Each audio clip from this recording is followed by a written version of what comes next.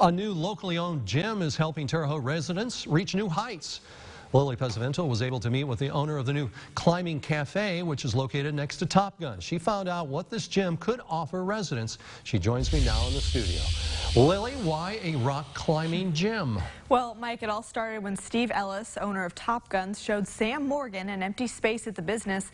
Morgan noticed the high ceilings and wide open space and said, you know, you should really open a rock climbing gym.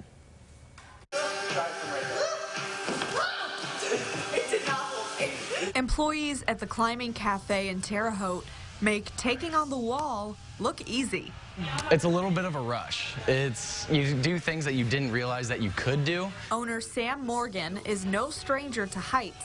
My wife and I, when we first got married, for three years we were climbing in uh, in Arizona, and that was back in the uh, early 90s. Now he's helping residents reach their goals and gain new experiences. In this section of the wall, especially, kids will get all the way up to the top after four or five tries, and the first thing they do is they look for mom and dad and say, "Hey, look at me."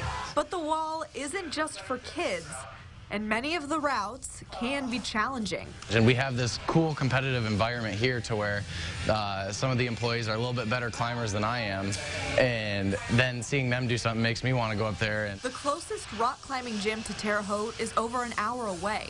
Morgan hopes the Climbing Cafe will not only be a destination for locals, but for tourists that I think it's going to give people the opportunity to spend their money on things to do versus stuff.